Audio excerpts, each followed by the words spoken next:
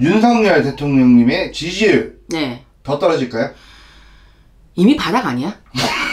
이 정도면? 역대 대통령들 중에서 이미 바닥인 것 같은데? 이명박 정권이 FTA 그거 할 때 바닥이었고, 박근혜 정권이 마지막에 탄핵당할 때 바닥이었고, 이미 그 이상을 넘은 것 같아. 민심은 이, 그 이상을 넘은 것 같아.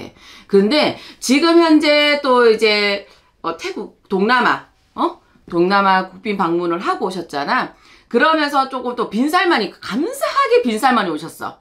빈살만이 오셔서, 이제 뭐냐면은 어느 정도 우리나라 그 경제적인 부분에서 많이 도움이 될 것 같아. 그러니까 반등은 할 것 같아요. 어, 운이 엄청 좋으신 분이네, 그러면? 아, 그렇죠. 이 타이밍에, 완전히 나락으로 떨어진 타이밍에 빈살만이 살린 거야.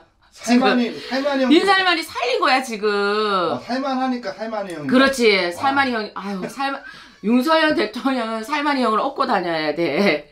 근데, 진짜 이제 그게 타고난 운때라는 거야. 하필 이때, 우리가 솔직히 말해서 정부가 빈살만이라는 사우디아라비아를 적극적으로 이렇게 케미를 만들어낸 게 아니거든. 그 전부터 만들어져 있던 부분이 계속 얘기가 오갔던 부분이야, 이거는. 원래부터가. 그래서 적재적소에 빈살만이 잘 방문을 해주셨고, 거기다가 지금 일본 패싱을 하고 돌아가셨잖아? 일본으로 가기로 했는데, 일본은 들리지 않고 바로 가셨어. 그러다 보니까 아무래도 우리나라 사람들은 이제 일본에 대한 반감이라든지 이런 게 또 있다 보니까, 거기에 대해서 더 올라가고, 반등은 살짝 될 것 같아요. 이게 좀 오래 갔으면 좋겠어요. 그리고 정말로 잘해주셨으면 좋겠어요.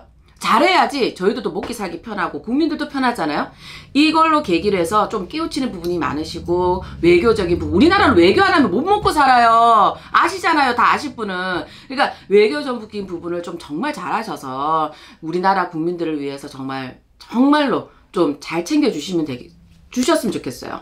예. 그래서 지금 현재는 살짝 반등은 될 것 같습니다. 반등은 될 것 같지만 뭔가가 또 임팩트한 어 아주 스펙타클한 뭔가가 하나가 또 어, 우리가 구정 전이라든지 어 12월 말이나 구정 전쯤으로 해가지고 뭔가 하나의 사건은 또 발생할 것 같아요. 그러니까 그런 사건이 발생하지 않게 저는 빌고 싶습니다. 정말 국민을 위해서 외교 외교 좀 잘해주시고 국민을 위해서 편안하게 조금 만들어 줬으면 좋겠어요.